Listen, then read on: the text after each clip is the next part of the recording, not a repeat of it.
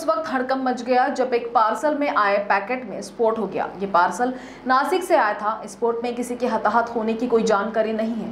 वो पार्सल नासिक से देवली वर्धा में भेजा जा रहा था जिसपे कोई ज्वलनशील पदार्थ होने की संभावना के चलते उसकी हैंडलिंग करते समय छोटा सा स्फोट हुआ, लेकिन उससे किसी भी प्रकार की हानि नहीं हुई। जानकारी मिलते ही पुलिस के बीजीडीएस पथक, आरसीपी पुलिस स्टेशन का स्टाफ और वरिष्ठ अधिकारी घटनास्थल पर पहुँचे और जाँच आरंभ की, जिसमें पता चला कि उस पार्सल में फॉस्फोरस जैसे पदार्थ की वजह से स्फोट हुआ था लेकिन किसी को कोई नुकसान नहीं पहुंचा है। पुलिस आगे की जांच कर रही है। आज संध्याकाळी सुमारे पाच साडेपाचच्या दरम्यान घडलेली ही घटना आहे. या ठिकाणी एक पार्सल नाशिकवरून आलेलं होतं जे देवळी वर्धा या ठिकाणी पाठवण्यात येत होतं. तर त्यामध्ये बहुधा काही ज्वलनशील पदार्थ असावा असा अंदाज आल्याने त्याची हँडलिंग करत असताना त्यामध्ये छोटासा स्फोट झालेला आहे. स्फोटामध्ये कोणतीही जीवित किंवा वित्तहानी झालेली नाही आहे अशी सूचना मिळाल्याच्यानंतर या ठिकाणी आम्ही आमचं बी डी डी एस पथक त्याचप्रमाणे आर सी पी आणि पोलीस स्टेशनचा स्टाफ तसेच आम्ही वरिष्ठ अधिकारी यांनी या ठिकाणी येऊन सखोल चौकशी केलेली होती. आणि त्यातून असं निष्पन्न झालेलं की नाशिकवरून हे वर्ध्याला पाठवलं जाणारं पार्सल जे होतं ते ह्या पार्सल हबमध्ये आल्याच्यानंतर ते हँडलिंग करताना त्याच्यामध्ये छोटासा स्फोट झालेला होता.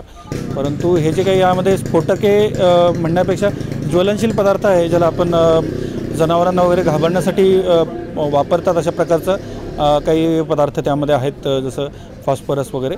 त्याचा तो स्फोट होता. तर या संदर्भात आम्ही आता पंचनामा करत आहोत. त्या ठिकाणी दहा बॉक्सेस त्या पार्सलमध्ये होते. आणि त्यापैकी एक बॉक्स त्या ठिकाणी एक्सप्लोड झालेला आहे. तर हे जे मायनर एक्सप्लोजन होतं सुदैवाने यामध्ये कोणतीही हानी झालेली नाही परंतु तरी देखील या बाबतीमध्ये पोस्टाच्या वरिष्ठ अधिकाऱ्यांशी चर्चा करून त्यांच्या जे काही रूल बुक्स आहेत त्याप्रमाणे ज्वलनशील पदार्थ पार्सलने पाठवायला मनाई आहे. असं असताना देखील ह्या प्रकारचं पार्सल या इथपर्यंत कसं काय पोहोचलं याच्याबाबत सखोल तपास करून आवश्यक पडलं तर गुन्हा दाखल करून आम्ही अधिक तपास यामध्ये करणार आहोत. आम्ही त्या पार्सलवर जो काही पत्ता होता पाठवणाऱ्याचा तसंच ज्याला पाठ पाठवलं जाणार होतं त्याचा त्याच्यावरून विशेषतः जे पाठवणारे आहेत नाशिकचे गृहस्थ त्यांना संपर्क केलेला आहे. त्यांचं असं म्हणणं आहे की बाबा हा प्रतिबंधित पदार्थ नाही आहे हा साधारणतः ग्रामीण भागांमध्ये मा माकडं किंवा इतर जनावरांना दूर पळवण्यासाठी वापरलं जातं ते.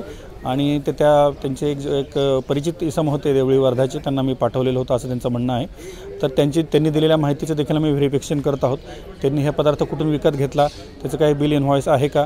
तो पदार्थ बाळगण्याबाबत किंवा पुस्तकाने पाठवण्याबाबत काय नियमावली आहे या सर्व गोष्टींचा सखोल अभ्यास करून सखोल तपास करून आपण पुढील कारवाई करणार आहोत. या सर्व गोष्टींची माहिती सखोल माहिती आपण आता घेतो आहोत. पाठवणाऱ्याचं नाव आता मी सध्या सांगू शकणार नाही आपल्याला तर त्याबाबत अधिक डिटेल माहिती आम्ही काही वेळाने आपल्याला देऊ. धन्यवाद.